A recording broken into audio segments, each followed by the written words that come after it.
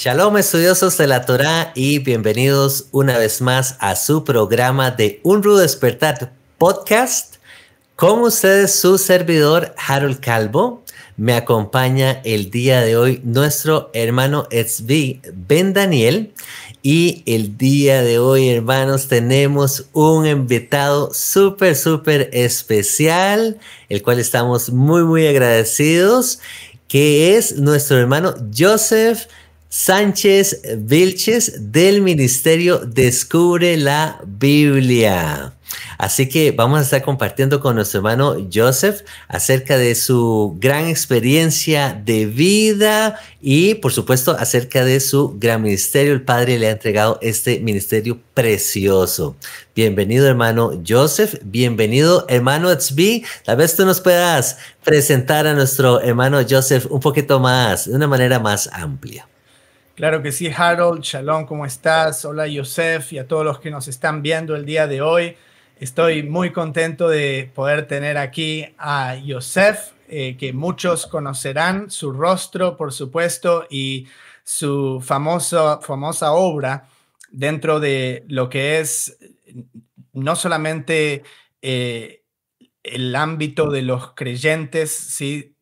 Del cristianismo, sino también yendo, volcándose a las raíces hebreas ya por muchos años, muchos, obviamente, nadie sabe, porque nunca lo dije antes, pero yo lo conocí a Yosef personalmente hace muchos años, viajando con mi familia en Cancún, luego de un viaje eh, tortuoso de 16 horas en autobús desde Tehuacán hasta Cancún con dos bebitos y nos mostró muchísima hospitalidad, conocimos ahí a su ministerio, luego más tarde me lo encontré en Israel, porque Yosef terminó haciendo alía con su familia, me encantaría que nos comparta varios detalles de cómo es que eso sucedió, su largo camino que transcurrió viniendo, si no me equivoco, él viene del, catolicismo incluso, me puede corregir si no, y la obra que, que ha hecho Yosef a través de el estudio exhaustivo de las escrituras, verso por verso. Como bien dijiste, muchos conocen su ministerio de Descubre la Biblia, pero ha trabajado en muchísimos más proyectos, incluyendo un famoso parque bíblico que ahora es su obra principal, o una de las principales, me parece. Me gustaría que Joseph nos cuente de todas esas cosas durante la próxima hora. Y bueno, te doy la bienvenida, Joseph, eh, y no sé si quieres decir unas palabras, no sé si te acuerdas de cuando nos conocimos también hace tanto tiempo, si, recuerdas algo de eso. Shalom, Joseph. Shalom. ¿Cómo no me voy a acordar, Esa experiencia fue inolvidable y quién iba a creer que un día íbamos a estar aquí virtualmente, conectando, pues ahora sí, a, que, a naciones ilimitadas a través de la magia del Internet.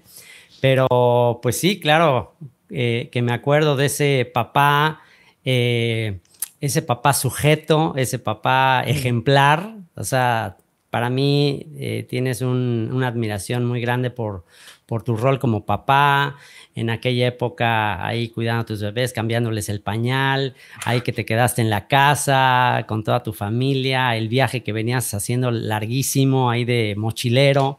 Y wow, fue inolvidable. Y luego encontrarnos en Israel también fue muy, muy especial. Y ahora la labor que, estás haciendo, eh, yo soy un fan tuyo de lejos. O sea, te sigo de lejos. No, Gracias. No, a lo mejor no estoy muy en contacto, pero de lejos sigo también lo que Dios ha hecho en tu vida. Y también tienes un fan por acá en Cancún. Me, encanta eh, tu actitud, tu corazón y es un, un honor para mí estar aquí contigo el día de hoy. Gracias, Joseph. Me gustaría para empezar si eh, puedes hablar de dónde viniste, o sea, tu, todo el trasfondo, cómo es que llegaste a interesarte por el tema de las raíces hebreas, de ahondar más en las escrituras, si ya tenías un ministerio incluso antes de entrar en lo que es las raíces hebreas, hasta llegar a donde estás hoy. Claro, claro, con mucho gusto. Pues mira, eh, jamás me hubiera imaginado estar acá. Si hace, mm, no sé, alrededor, tengo ahorita 55 años, ya revelé ahí mi edad, no tengo ningún problema. Pero si cuando yo tenía alrededor de 18 años, eh, que ya hace bastante tiempo, si alguien me hubiera dicho hace alrededor de pues no sé, como 30 años, cerca de 30 años, que yo un día iba a estar eh, difundiendo el conocimiento de la Biblia y de Jesucristo a todas las naciones, me hubiera carcajeado de risa, hubiera sido el chiste más eh, absurdo que alguien me hubiese contado, porque aunque yo nací en un hogar eh, tradicional católico en México, a muy temprana edad, ya en la adolescencia, yo ya no quería saber nada de la religión.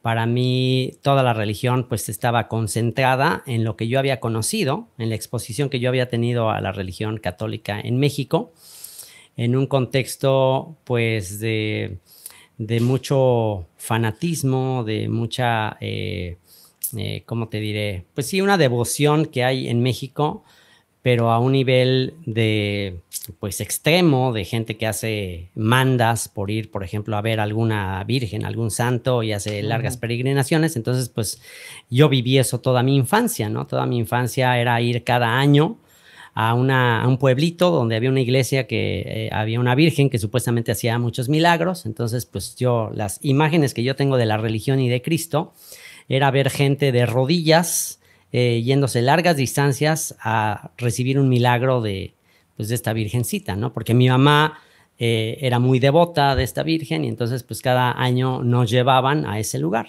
Entonces fueron tantas las imágenes de sufrimiento, de pobreza, de miseria, conectado a la religión, que eso combinado con un maestro en la secundaria ateo que pues nos influenció a decirnos que todo eso era un engaño, pues eso me hizo rechazar ya en la adolescencia toda idea religiosa, ¿no? Pero no nada más rechazarla, sino incluso ser irrespetuoso, ser irrespetuoso, burlarme, contar chistes en contra de, Cristo, cosas así terribles, terribles, echarme debates con... Hereje, ya. Eh, sí, total, o sea, creí, o sea, echarme debates con cristianos, con gente que creía en la Biblia, para yo burlarme de sus creencias y era muy respetuoso, era muy respetuoso, muy irreverente, muy blasfemo, o sea, incluso específicamente de Cristo.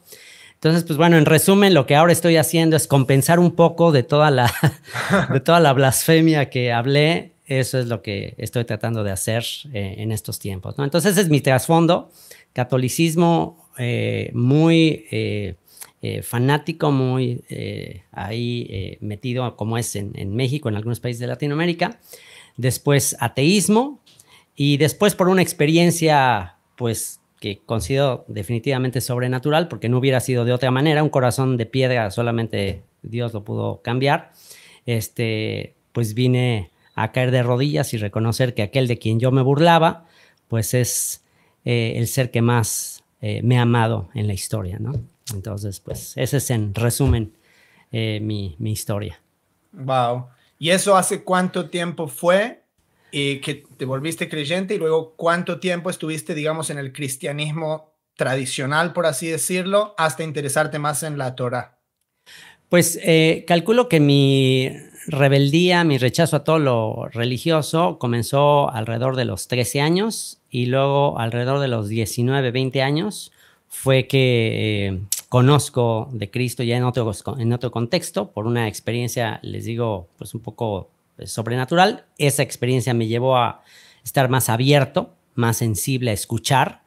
Y escuché el mensaje de Cristo, pero ya fuera del contexto católico, ahora lo escuché en el contexto evangélico protestante, a raíz de que una familia en Estados Unidos me, me compartió de, Cristo, pero desde la perspectiva ya de Estados Unidos, más evangélico, que pues eso me choqueó, me sorprendió, porque viniendo de un eh, cristianismo católico, de repente conocer el cristianismo que se practica en Estados Unidos protestante, pues fue una gran diferencia.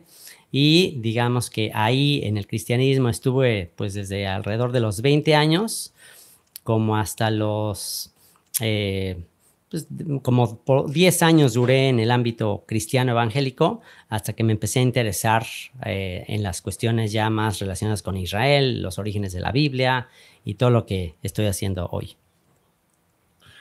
Excelente.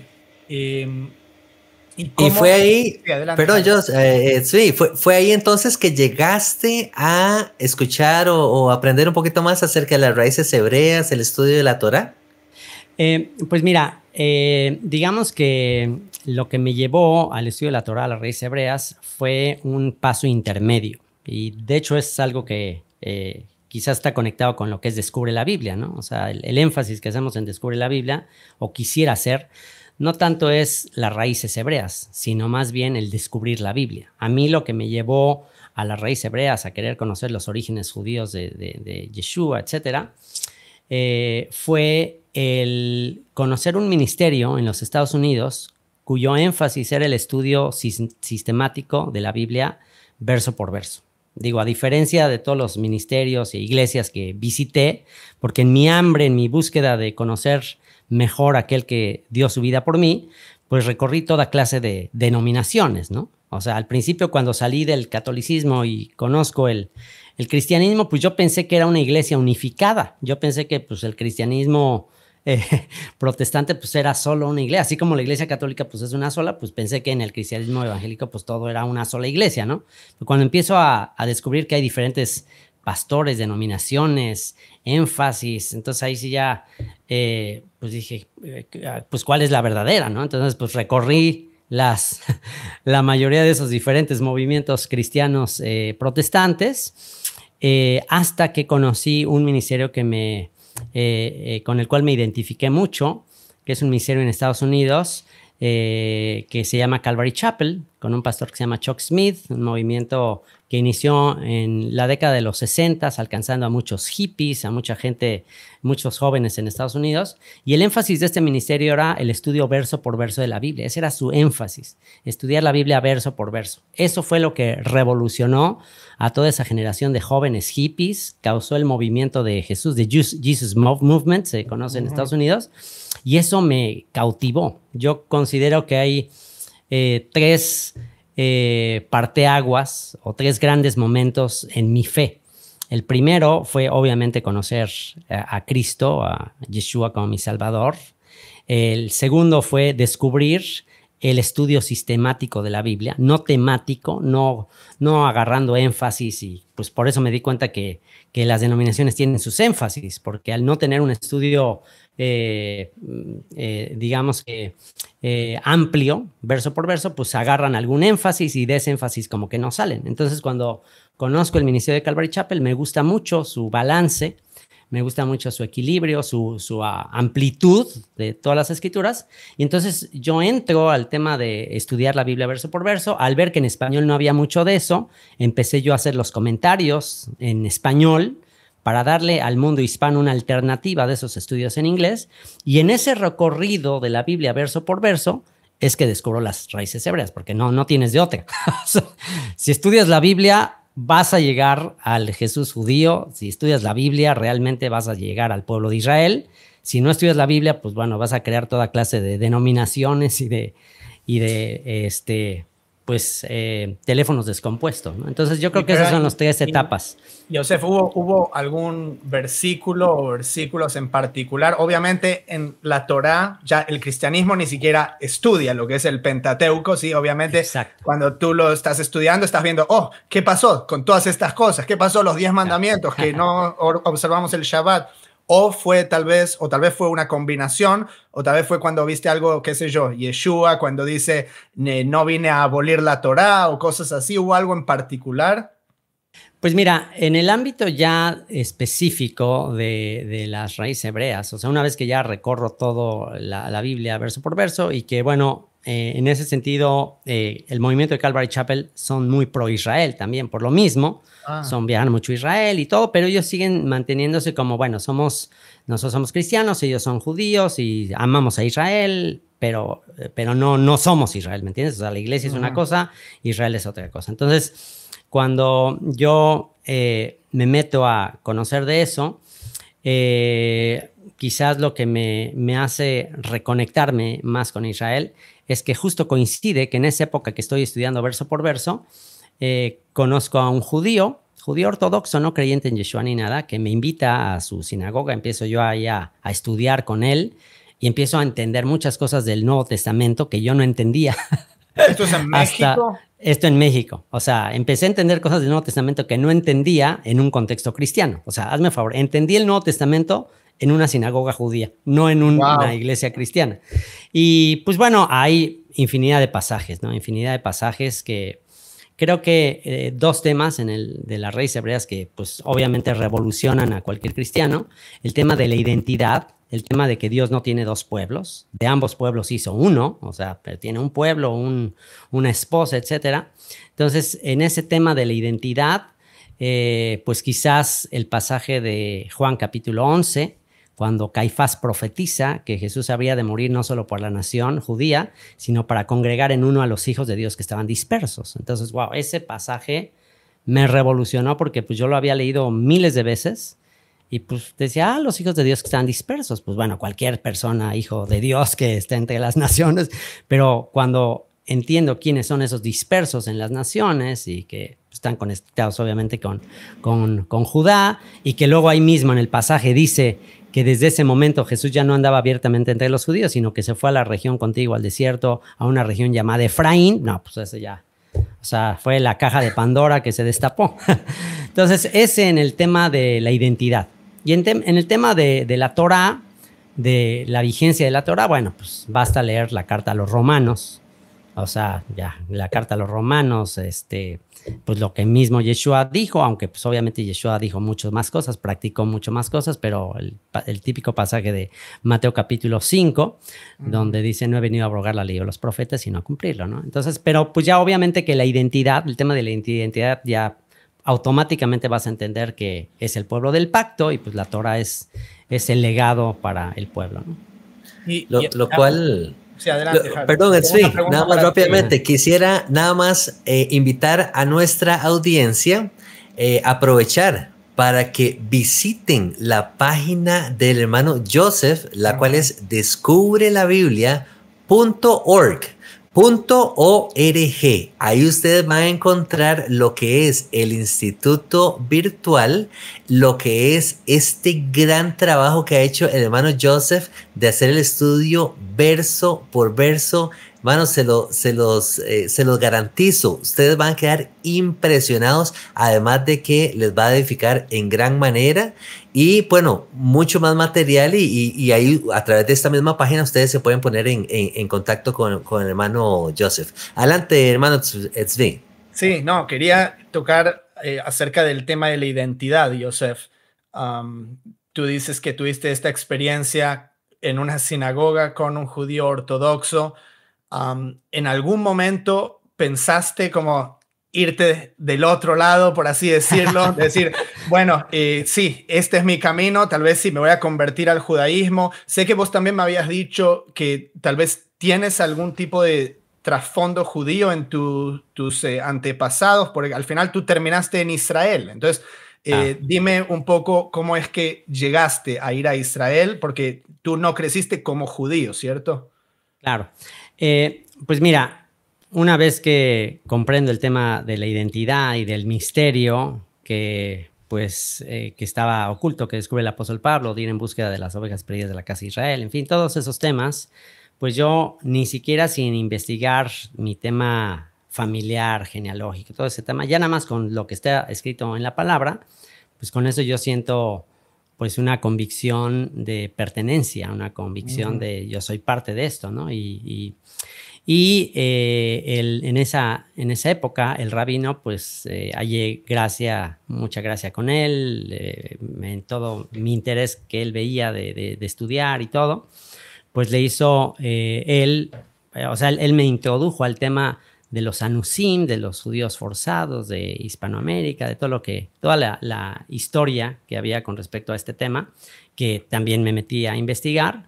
Entonces, una vez que me meto a investigar ese tema y que pues eh, me doy cuenta que sin duda hay ese tipo de conexión de mi parte, pues eh, es el mismo rabino el que, me, el que me invita no a una conversión, sino a un retorno, porque él no lo llamó como una en una, este, una conversión, él dice, no, pues, este, eh, ¿por qué no, por qué no eh, intentas eso? Que es raro, o sea, es raro para un rabino que él... Rarísimo, pues, para, el que no sabe, o sea, uno cuando va a un rabino y le dice, me interesa convertirme al judaísmo, está la famosa historia, el rabino le dice, no, vete de aquí. Y luego cuando vuelve le dice, no, vete. Y tal vez la tercera vez que viene le dice, ok, Claro, claro. En mi caso fue al revés. En mi caso casi, casi como que él, era el que me decía, pues, pues ven, o sea, y con, muchas, con muchos detalles.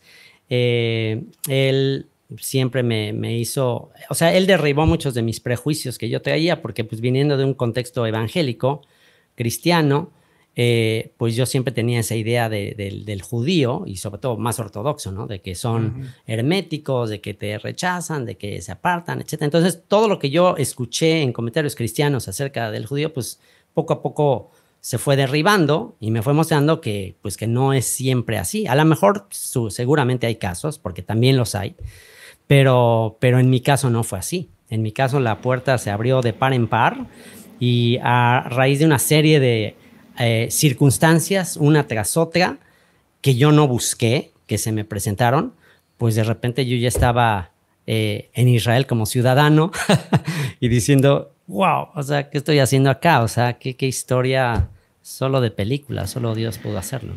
Toda tu familia, tú y toda tu familia hacen entonces aliyah. Exacto, exacto. Y eh, te quería consultar. Porque, tal como lo dice Tzvi, el tema puede ser un poquito, eh, eh, los rabinos pueden ser un poquito celosos con el asunto de la creencia en, en, Yeshua como el Mesías. ¿No fue este aspecto como una, tal vez una traba a la hora de hacer aliyah? ¿O no, o no, no fue un tema tal vez que se trata? Jamás fue, lo que pasa es que eh, en temas de aliyah realmente es más enfocado a la parte eh, de gobierno, la parte política, que ellos una vez que ya tienen el requisito de parte de los rabinos de, la conversión y todo, ellos ya se enfocan en esa parte migratoria y ya ese tema ni se toca. ¿no? Eh, sé que hay casos que sí, sé que hay casos, porque bueno, es muy sonado de casos que han tenido teadas, pero como les digo, en nuestro caso todo fue una eh, continua luz verde que nos mostró que era plan de Dios que hiciéramos eso, ¿no? Qué hermoso. ¿Y cuánto tiempo, mano, Joseph, estuviste allá con tu familia en Israel, viviendo en Israel? Eh, estuvimos cinco años, alrededor de cinco años. Exacto. ¡Wow! ¡Qué gran experiencia! ¡Qué, qué bonito! ¿Y qué tal con, la lengua hebrea? ¿Estás, eh, eh, aprender hebreo también y o ahí estás en el proceso. Okay. me va, me va a, a entender esto. העברית שלי כמו עברית uh, של שוק. הוא יכול uh, להבין אותי, ¿ok? Tú me entiendes. No, mi hebreo es como de shuk. mi, mi hebreo es como de eh, olejadash, como de, como de shuk, le llamamos. Un hebreo de mercado, un hebreo para ir al súper, un hebreo para ir al mercado, un hebreo para salir adelante. Estudié en, en, en Israel, bueno, pues es un requisito como nuevo inmigrante, tomar un año de, instrucción, eh, alrededor de un año de Ulpan, que es una escuela de hebreo intensivo, de alrededor de siete horas diarias, entonces sí fue una inmersión total.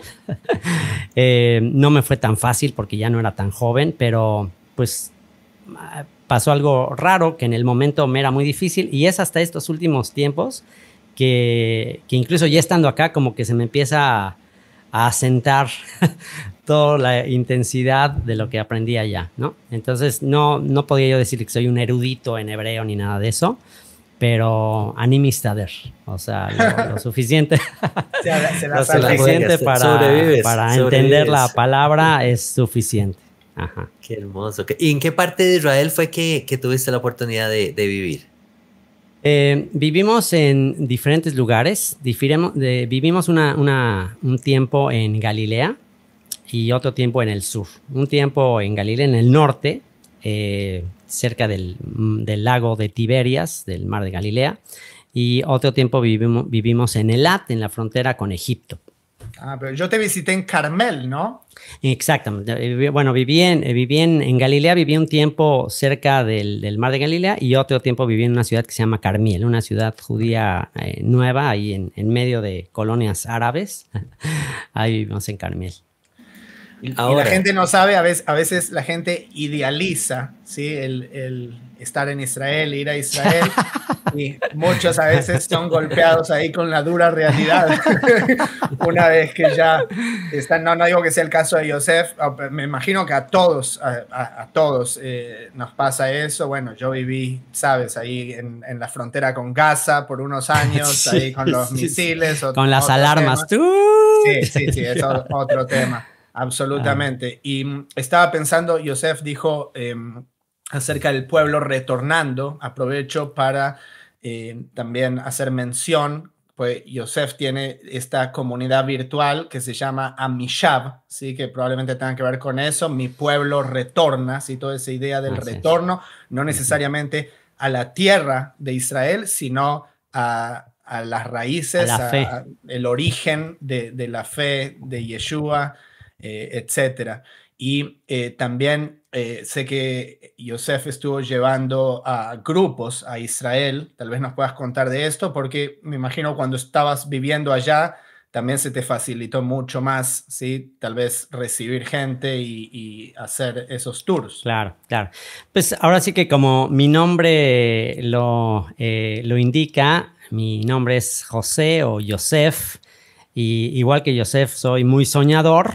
Eh, no estoy tan seguro de que mis sueños se van a cumplir, pero, pero pues en mis sueños de, hacer retornar al, pueblo disperso a sus orígenes, a sus raíces, a su fe, pues eh, yo soñaba eh, al yo, al, al haberse abierto las puertas para retornar a la tierra, yo soñaba con una comunidad de creyentes de Hispanoamérica, parte del ministerio, pues que en algún momento también comenzaran a retornar, ¿no? Yo consideraba ser la primicia de, pues de más personas que, que, se les abrieran las puertas para también retornar a la tierra. Y yo soñaba con algo eh, como lo del parque histórico que al rato hablaremos de eso, pero yo soñaba tener una especie de, aldea, un lugar así tipo el parque histórico que hicimos acá de Descubrir la Biblia, pero en el desierto del Negev, allá en, en Israel. yo soñaba con sembrar en el desierto, cosechar, cumplir las profecías que hablan de todo eso. Pero cuando empecé a ver cuánto costaban, eh, que me habían dicho, es que hay un montón de cosas que se dicen en el ámbito de las raíces hebreas que no son ciertas, un montón de cosas que la gente idealiza, como si y todo. Y ya cuando estás ahí, la dura realidad te golpea. Entonces me dicen, no, hombre, ahí te regalan los terrenos en el desierto, tú llegas al desierto y te los van a regalar y puedes formar. Entonces, yo soñando con todo eso. Entonces, cuando empiezo ya a investigar el tema y pues, que regalar ni que nada. Y, media duna 10 millones de dólares. Exacto, exacto. O sea, te cuesta más un terreno en el desierto que acá en, el, en la, playa, en el Caribe, ¿no? Entonces, pues dije, no, esto está, esto está de sueño. Y pues no nada más el asunto de la tierra, la compra de la tierra, sino eh, el, proceso de alía, o sea, el, hacer que, que, pues, o sea, no, para poder emigrar a Israel, pues no, no, no cualquiera lo puede hacer, no, no está tan fácil. Entonces, pues me di cuenta que eso era un sueño demasiado, como decimos en México, guajiro, para pensar que yo podía ser parte de eso. Eh, decidí dejárselo al buen pastor de Israel, que es el que lo va a hacer, y cuando, cuando sea el tiempo. Y mientras tanto, dije, bueno, pues mientras que eso se cumple, voy a hacer una tierra de Gosén y pues donde se pueda. Y pues terminé haciéndola, en vez del desierto del Negev, terminé haciéndola en la mitad de la jungla, acá en el Caribe. Y, eh, es, un buen momento tal vez para entrar un poco más en profundidad a eso, porque yo ya como que te perdí un poco el rastro y los detalles de eso se me escapan acerca de cómo es que terminas dejando Israel y eventualmente, pues sé que tenías una, una quejilá ahí en Cancún, la quejilá que yo visité. Esa quejilá no estoy seguro de, cómo continuó después de que te fuiste. También está la quejilá virtual. Y luego vas con este sueño, que también es un sueño bastante guajiro, aunque no sé el significado de esta palabra, de eh, conseguir unas tierras, incluso que es en la Riviera Maya, para construir todo desde cero y también, también cuál es el objetivo de, eso que estás haciendo ahora. Claro, claro, claro. Bueno, primero, eh, en realidad no considero haber dejado el sueño de Israel. Es, ese es mi motor principal de todo y lo sueño, lo sigo soñando. Simplemente creo que está mucho más allá de nuestras fuerzas y mi capacidad de hacerlo, ¿no? Porque pues es, ahora sí que es el final de la Biblia. Entonces, o sea, ¿cómo voy a precipitar el final? Eh, eso está, te digo, muy, muy grande.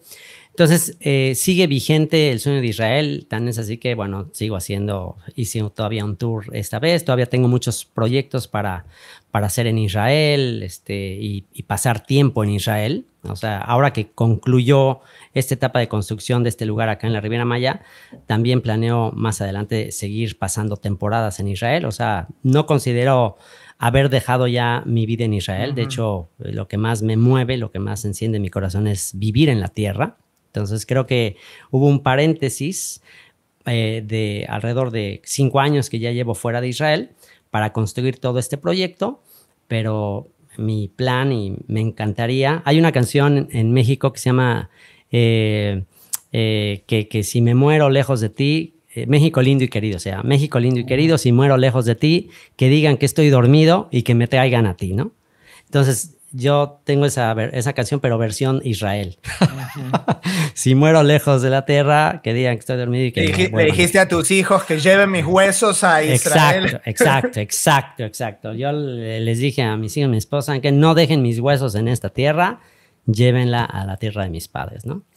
Entonces, pero bueno, en este paréntesis eh, en el que estamos, eh, pues estamos en este lugar cuyo objetivo es traer un poco de Israel, de la historia de Israel, de la Biblia, a aquellas personas que quizás no podrían ir a Israel, pues por los costos, por lo que tú quieras, por las dificultades. De hecho, este lugar se dio en la época de pandemia. Entonces, pues, o sea, con todo el tema de la pandemia, yo ya no sabía si, si íbamos a seguir eh, viajando como se viajaba antes, ya no sabía qué iba a pasar después. Entonces, en, ese, en esa etapa es justamente cuando se desarrolla todo este eh, concepto, todo este proyecto de una comunidad de estudio bíblico donde la gente puede tener una probadita de lo que es Israel, pero no Israel del siglo XXI, sino Israel del primer siglo, porque bueno, eso es lo que yo me di cuenta como guía de turistas en Israel, de que pues llevas a la gente en el siglo XXI a visitar Israel y se imaginan que van a ver así el, la, Jerusalén bíblica y, el Israel de hace dos mil años y pues está totalmente todo cambiado, no está tan fácil. Entonces la idea de hacer un parque histórico en este lugar es tener una probadita de Israel del primer siglo. Esa fue toda la idea y un lugar donde pudiéramos eh, celebrar las festividades y todo, porque eh, por mucho tiempo, sobre todo por el tiempo que me fui a Israel, eh, nuestra comunidad se convirtió en una comunidad virtual. La quejilá que teníamos acá en Cancún, mi cuñado se quedó a cargo, de hecho se continúa eh, bajo el nombre de Camino Emaús y mi cuñado, el, el hermano de mi esposa, Abril, él es el que está a cargo de esa comunidad, Camino a Maus, y sigue la comunidad. Pero yo al haberme desconectado del ámbito presencial y haberme dedicado a todo lo virtual y eh, Israel y todo, eh, cuando regreso a Cancún y veo la necesidad, sobre todo en los jóvenes, porque este lugar surgió en un principio como una respuesta de papás, incluido yo, incluido mi esposa y yo, que teníamos hijos ya eh, en su temprana edad adulta, que pues vivimos una época muy diferente con los jóvenes, de que todo el tiempo están conectados y adictos al Internet. Entonces necesitábamos una alternativa de un lugar donde pudiéramos sacarlos un poquito de su adicción a las redes sociales y a todo eso. Y pues se dieron, se dio una oportunidad ahí en medio de la jungla donde no hay Internet, donde, bueno, no había, ya introdujimos, eh, pero no había, es, más, o sea, por lo menos puedes controlar el Internet, ¿no? O sea, en una canción no puedes controlar el Internet, pero ahí sí tenemos nosotros la manera de controlarlo para que los jóvenes que vayan ahí realmente vayan a estudiar la Biblia y se utilice el Internet de manera eh, eh, controlada para el estudio específicamente. Y ese fue el objetivo. Entonces, es un lugar de estudio, de retiro, de celebración de las festividades, eh, enfocado eh, a jóvenes principalmente, pero no exclusivo para jóvenes. Ahora ya hay también alternativas para cualquier edad para llegar allí, ir a estudiar las raíces de nuestra fe en un lugar con menos distracciones. Entonces, pues eso es lo que hemos estado haciendo ahí. Y para todos los que nos están escuchando, ahora hay algún tipo de programa que la gente puede asistir o hay algún tipo de formato o cómo manejas el tema de las visitas si alguien quisiese venir a, ver lo que está sucediendo allí. Okay. O a pues ayudar, perdón, o a ayudar a construir. Como voluntarios, etcétera.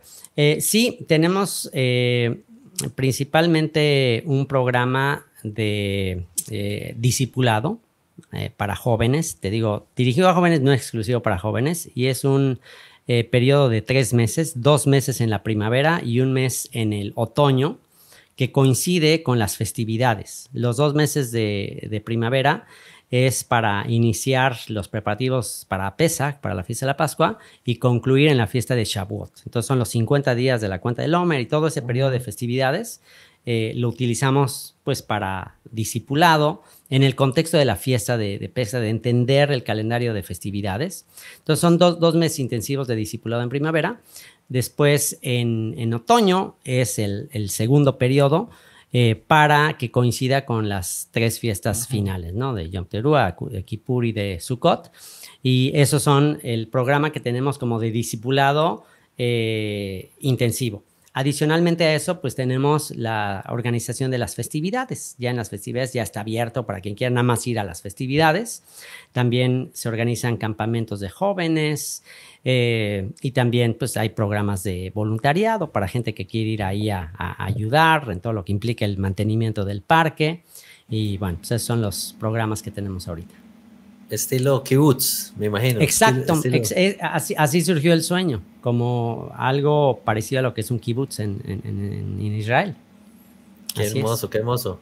Entonces, esta idea, hermano Joseph, del parque histórico viene siendo como la etapa después de que ustedes vivieron en Israel.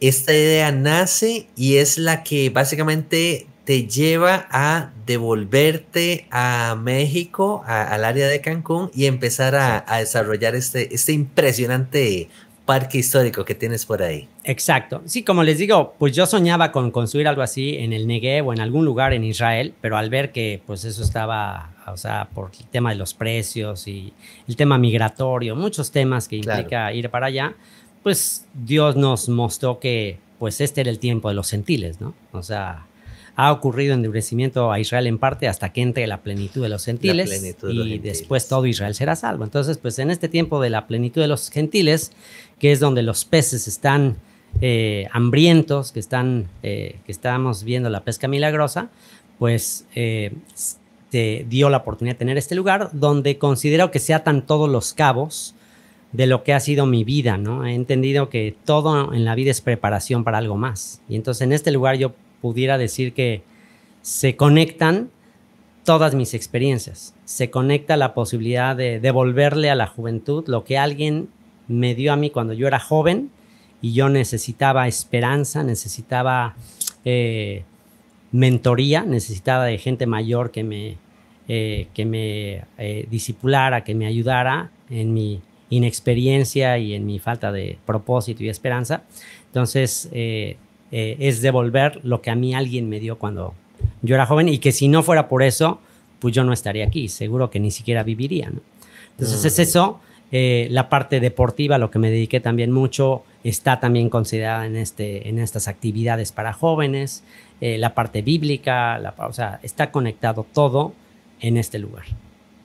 Bueno, aprovechar para decirle a los hermanos, eh, tal vez un detallito que no muchos conocen, pero eh, nuestro hermano Joseph también fue un gran deportista en el área de ping pong en alto rendimiento. Estuve viendo por ahí. Así que qué bonito, hermano Joseph, que también tengan la oportunidad, jóvenes, eh, si llegaran, tuvieran la oportunidad de, ir a visitarte al parque histórico, a esta experiencia incluso de, de también impulsarlos en, esa parte de, atletismo, alejándolos un poquito de tanto de tecnologías y, y tanto de redes y tanta cosa que vemos hoy en día, ¿verdad? Pero bueno, invitar nuevamente a los hermanos a visitar la página de hermano Joseph descubre la biblia.org donde encontrarán videos que hermano ustedes se van a quedar impresionados de este trabajo que el hermano Joseph ha llevado a cabo con este parque histórico. Mi esposa y mi persona tuvimos la oportunidad de viajar a Israel hace unos años atrás y visitar la ciudad de Nazaret.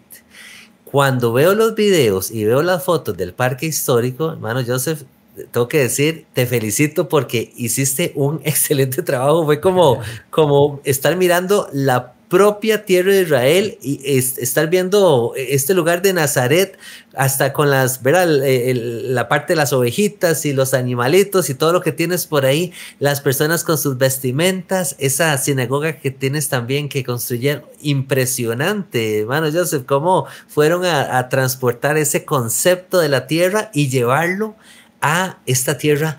Me encantó ese concepto que usaste, a ese Goshem, ¿verdad? Esa tierra de Goshem, eh, fuera de la, lejos de la tierra de Israel, donde la gente puede encontrar como, como un bálsamo nuevamente de las escrituras y, volverse a nutrir y, y, acrecentar su fe la fe de los antiguos, ¿verdad? Entonces, donde Joseph, donde Joseph recibe a sus hermanos. Amén, qué lindo, qué lindo, donde Joseph encuentra nuevamente a sus hermanos. Hermano Joseph, quiero aprovechar también, mencionabas eh, siempre el tema de, tiempos finales, está, está sobre la mesa.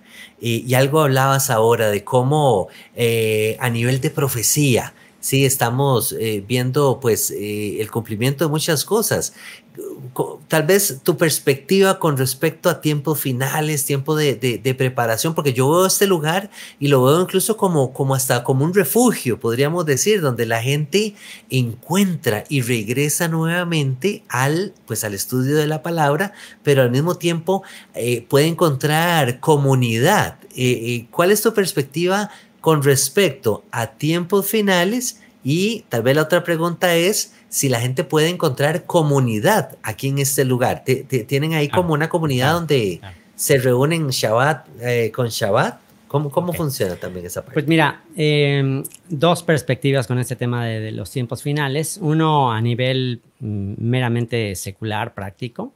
Eh, en una ocasión vi un video sobre lo que se necesita para sobrevivir en un lugar. O sea, hablando de, bueno, si algo sucediera, no necesariamente un video religioso ni nada que ver con la fe, pero hablaban de qué, eh, qué clase de características necesita un lugar para garantizarte la supervivencia en ese lugar con menos recursos, con menos energía. Y número uno, obviamente, pues es agua, ¿no? Un lugar donde haya agua en abundancia, donde no batalles con, con agua, que es lo principal. Entonces, bueno, eso número uno. Número dos, eh, tierra fértil, un lugar donde la tierra sea fértil, donde sea fácil sembrar, cosechar, etc. Y número tres, donde el clima no sea tan, eh, tan drástico, donde no necesites mucha energía para calentarte eh, o donde no necesites mucha energía para, para enfriarte, ¿no? O sea, que, un, lugar que principalmente sea caluroso, porque el calor, pues de alguna manera lo soportas, pero el frío extremo, pues eh, necesitas mucha energía para, para contrarrestarlo, ¿no? Entonces, pues este lugar que diosidencialmente eh, vino a nuestras manos, pues tiene esas tres características. Tiene abundancia de agua, la tierra súper fértil y el clima divino. El clima, bueno, a mí me encanta el clima, el clima tropical, Así pues ves, es invierno, estoy en enero y estoy aquí de traje de baño prácticamente. Espectacular. Entonces eso está increíble, ¿no? O sea, así todo el año puedes estar así. Eh, necesitas muy poca ropa. Alguien que es minimalista, pues no necesitas tener grandes guardarropas. Eh, entonces, eh, con respecto a si fueran estos los últimos tiempos, ni siquiera por temas de, de fe, sino simplemente porque la situación cada vez está más difícil, pues es un lugar ideal, ¿no? Por tranquilidad, por muchas razones.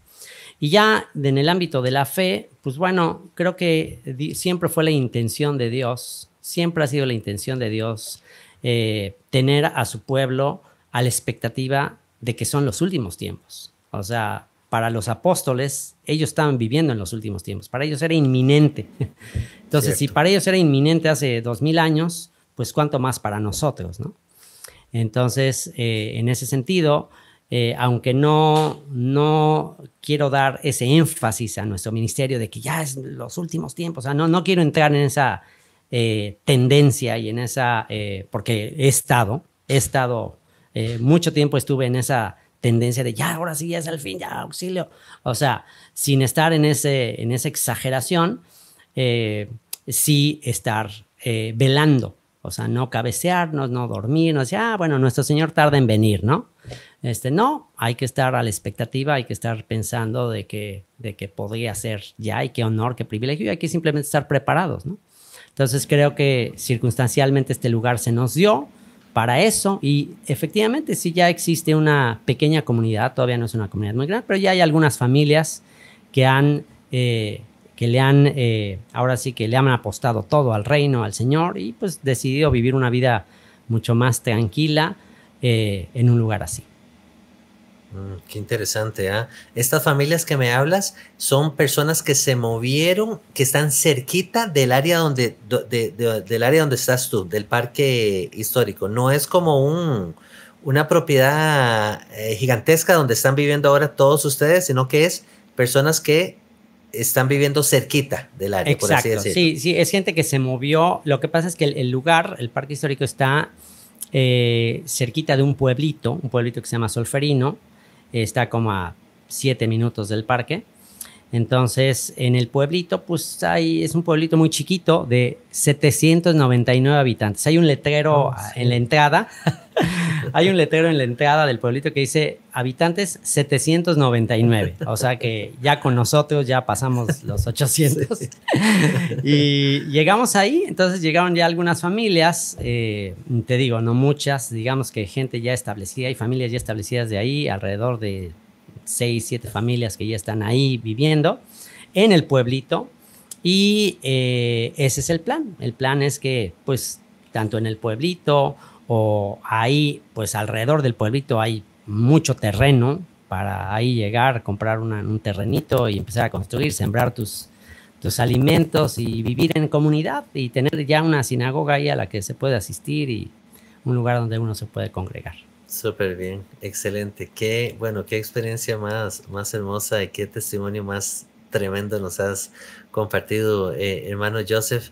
Eh, tal vez la última consulta que, quería expresarte era con respecto al, al tema de, es una pregunta personal, eh, con respecto al tema del el nombre del Altísimo. Eh, queríamos escuchar tal vez tu perspectiva con respecto a, lo que es la pronunciación del nombre del Altísimo, dado que has tenido también tanta experiencia con viviendo en la tierra de Israel, compartiendo con, rabinos, eh, eh, has, estudiado toda la escritura de tapa a tapa. ¿Cuál es tu posición con, con, respecto a esto? Ok, pues mira, algo que que he estado quizás siempre buscando es un sentimiento de familia unida. Quizás al venir de una familia eh, eh, pues con tantos conflictos, vengo de una familia muy numerosa. Fuimos ocho hermanos, eh, mis papás ya mayores y todo, entonces pues vengo de una familia que aunque no podíamos decir que este, fue todo negativo, cosas muy lindas también, pero pues sí, vivimos muchas cosas de diferencia de opinión. Entonces a mí me estresa mucho, quizás por ser el menor de ocho hermanos y, yo siempre hacerla de referee, me estresa mucho, me estresa mucho eh, el pensar que hay tantas contiendas, divisiones, ¿no? Entonces, eh, quizás en el ámbito cristiano, cuando vi tantas eh, divisiones, me di cuenta, bueno, pues la clave es la Biblia y no tantas estarse peleando por tendencias o divisiones. Tenía yo la esperanza de que en el ámbito de las raíces hebreas hubiera más unidad y cuando me di cuenta que de los temas que más causan división es el tema de, la, de cómo se pronuncia el nombre y el tema del calendario y todas esas cosas, dije, no puede ser. O sea, yo ah, deliberadamente y una vez más por el trasfondo que traigo, decidí no entrarle a esa controversia. Decirle, ¿sabes qué? Que cada quien le llame como quiera, que cada quien pronuncie el nombre como quiera. Yo en lo personal considero y con mi básico conocimiento de hebreo, considero que lo importante no es la pronunciación del nombre, sino que entendamos lo que significa el nombre, ¿no? Porque estoy convencido que la única manera de tener la absoluta certeza de cómo se pronunciaba el nombre es teniendo una grabación de Moisés diciéndolo. Y como no tengo una grabación de Moisés diciéndolo, y hay muchos eruditos que te aseguran que es así, y luego otro erudito te asegura que no es así, que es de la otra manera, dije, ¿sabes qué? Mejor espero a la grabación de Moisés o mejor espero a que Moisés me lo diga. Y lo importante es entender qué es el, qué, qué significa el nombre, ¿no? el que será, el que es y el que fue, ¿no? Tan tan, o sea, el, que siempre, el eterno, el que siempre existe. Entonces, esa es mi perspectiva. Y, y, y, aunque lo supiera, aunque tuviera la grabación del nombre, aunque tuviera aquí Moisés que me dice el nombre y pronúncialo, y supiera que eso le es de tropiezo a mis hermanos de la casa de Judá, y cumpliendo el texto que dice, no, no seas tropiezo a judíos, ni gentiles, ni la iglesia de Dios, cumpliendo esa exhortación del apóstol Pablo, tampoco lo pronunciaría, solo por amor a mis hermanos de la casa de Judá, a los que les sería un tropiezo que yo esté tan ah, deliberadamente mencionando ese nombre, que con tanto respeto ellos dicen simplemente Hashem, ¿no? Entonces... Es, esa es mi postura con respecto a ese tema. Bueno, palabras sabias, eh, hermanos que nos escuchan también, porque muchas veces eh, nos hacen llegar esa, esa consulta y, y pues queríamos escuchar tu, tu, tu, perspectiva al respecto.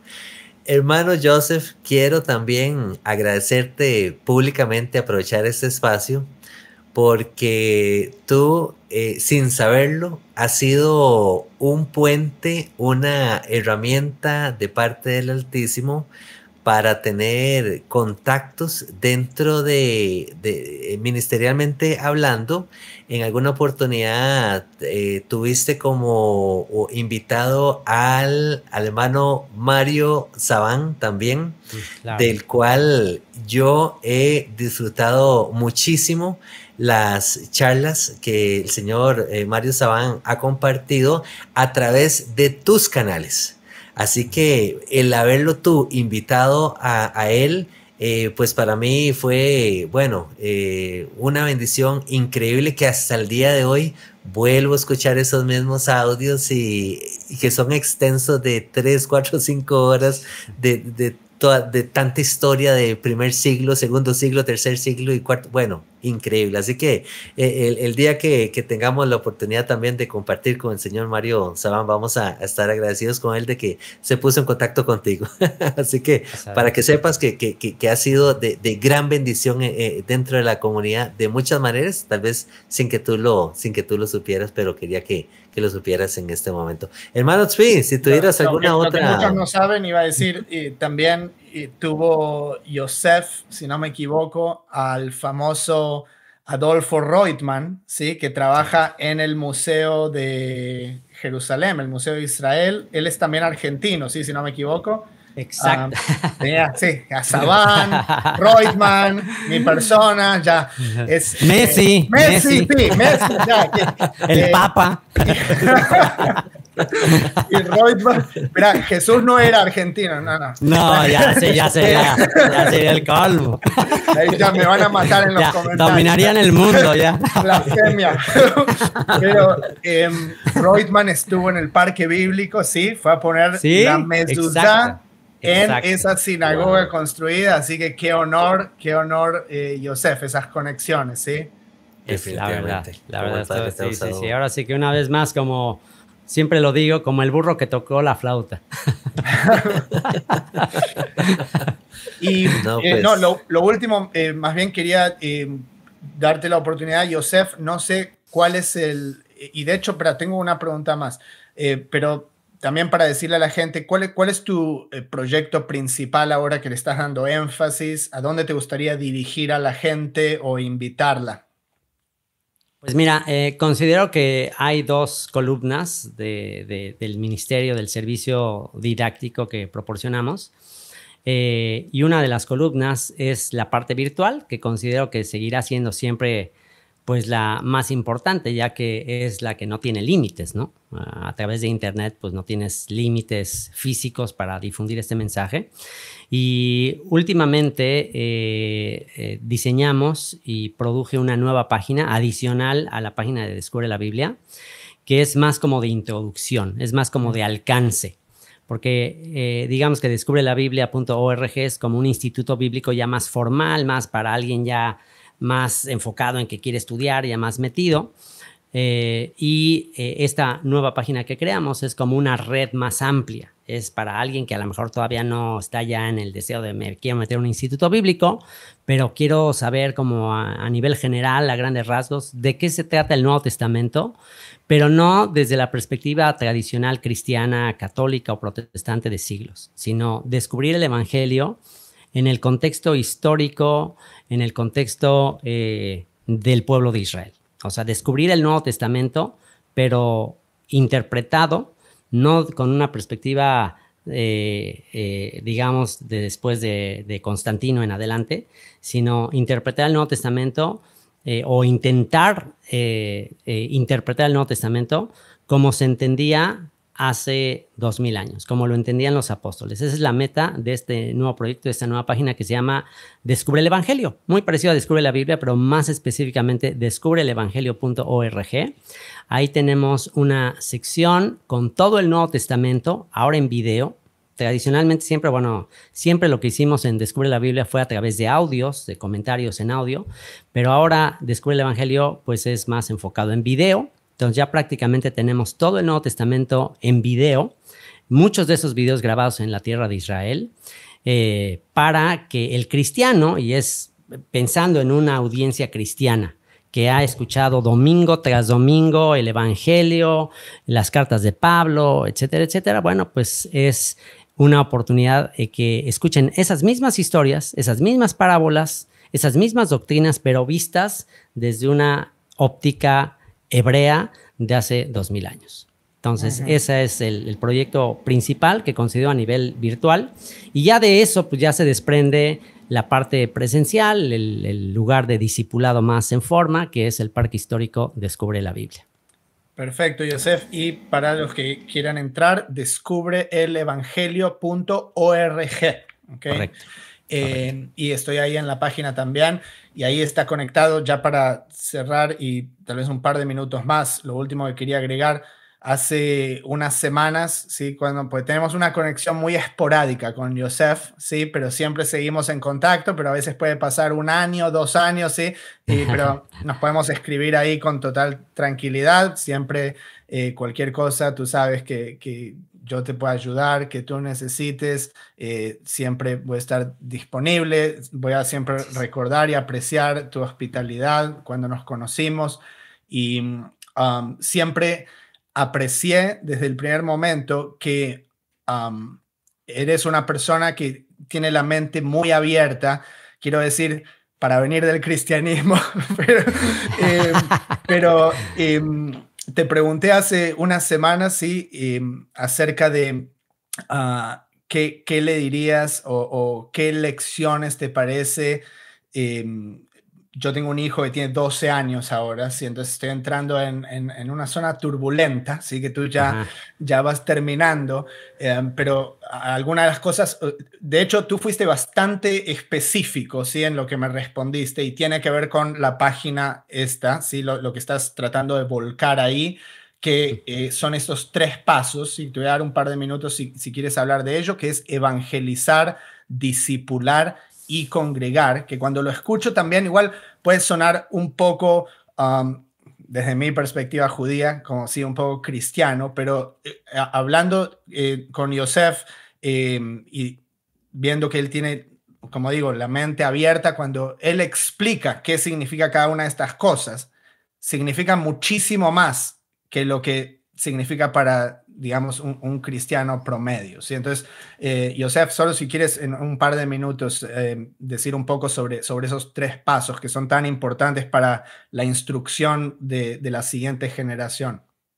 Correcto. Bueno, eh, estos tres puntos surgieron de una pregunta que me agarró en, en Upside, ahí Svi, con respecto a, la etapa que está viviendo como papá de eh, adolescentes y que están llegando a su edad temprana de, como adultos. Y él me preguntaba qué consejo le daría, ¿no? Y bueno, de entrada me siento eh, pues muy agradecido, muy honrado de que Tzvi, alguien como Tzvi, me, haga esa pregunta.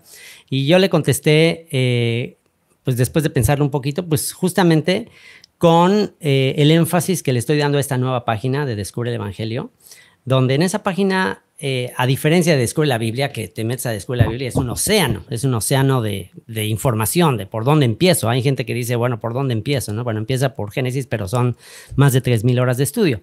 Pero en esta página de Descubre el Evangelio traté de hacerlo todo muy minimalista, muy concreto, muy al grano. Y esta página está dividida en tres secciones, evangelizar, discipular y congregar, que considero que son las etapas claves en la proclamación de nuestra fe el primer, eh, la primera sección, evangelizar, bueno, pues yo le decía, tenemos que asegurarnos de evangelizar a nuestros hijos. Tenemos que asegurarnos de que por lo menos nuestros hijos conocen qué es el Evangelio, qué es el anuncio del reino, el anuncio de un rey, eh, la renuncia a los dioses de las naciones, ¿no? Y la, eh, la, a recibir la autoridad de aquel que nos llamó a ser parte de su pueblo. Entonces, en la parte de evangelizar es el reconocimiento de que hemos sido llamados para ser parte de, una nación y tener un rey como nuestro, nuestra máxima autoridad. Eso implica que aprendamos su gobierno, que aprendamos sus instrucciones, que aprendamos su forma de vida. Esa es la parte de discipular que abarca el ser estudiantes, el ser discípulos, el recibir su pacto, sus mandamientos. Y una vez que tú recibes sus pactos, sus mandamientos, pues eso te, te, conecta, eso te hace ir en contra de la corriente y te hace ser luz a las naciones y te hace ser parte de una nación, la nación del pacto. Entonces yo creo que si eh, nos aseguramos, número uno, de proclamar al Rey de Reyes y Señor de Señores, al, al Dios de Abraham, Isaac y Jacob, número uno, de hacerle entender a la gente que Él es el Altísimo, que no hay nadie como Él eh, y que la única manera de eh, de vivir, vivir, vivir en todos los sentidos, es rindiéndonos a su autoridad y señorío, reconociéndole como el creador. Eh, y eso conlleva pues guardar sus mandamientos y mamáis guardar mis mandamientos, discipular, que es ser estudiante, un estudiante, el estudio como un estilo de vida, y eso te va a hacer que te congregues y, te, seas parte de, de una familia, de una nación y de un conjunto de naciones. Entonces, creo que son los tres pasos fundamentales eh, para no desenfocarnos de tantas cosas, porque pues, la Biblia es algo tan amplio y hay tanta historia que, que te puedes perder en tantas cosas, ¿no? Pero si nos enfocamos, creo que en esos tres fundamentos, creo que tenemos los ingredientes necesarios para cumplir el propósito por el cual Dios nos llamó. Amén. Así es. Muchas gracias. De verdad que no tenemos palabras, hermano Joseph, de hasta, consejo no, nos llevamos en este programa, de verdad que sí. Eh, escuchar tus palabras, tu testimonio, tu experiencia, eh, todo este ministerio que estás desarrollando, de verdad que, bueno, eh, te deseamos y, te bendecimos y oramos al Padre para que Él siga abriendo las puertas, te dé las fuerzas, te dé la estrategia, te dé los recursos para que puedas seguir extendiendo tus tiendas, ahí donde, donde te encuentras y donde el Padre te, te vaya a llevar también. Entonces, muchísimas gracias. De verdad que sí, Joseph, cuánto disfrutamos esta, esta entrevista y no tengo duda de que la audiencia también eh, se lleva una, una gran bendición con, con escuchar tus, tus palabras y, y, y, bueno, eh, a medida que van también visitando eh, las páginas que les mencionamos de descubre la Biblia.org y descubre el evangelio.org también, donde van a encontrar cualquier cantidad de, recursos y, van a conocer un poco más acerca de, de, tu, de tu ministerio tan precioso que te ha dado el Altísimo. Así que que el Eterno te bendiga, te guarde a ti, a tu familia y a los tuyos. Atzvi, muchísimas gracias por traer a tan tremendo invitado al, programa y pues esperamos poder mantenernos en, en contacto y estamos para, para servirte también, mano Joseph. Y bueno, damos por, por concluido el programa del día de hoy, hermanos. Esperamos haya sido de bendición para sus vidas. Nos vemos hasta la próxima y que el Eterno les bendiga y les guarde. Shalom, shalom.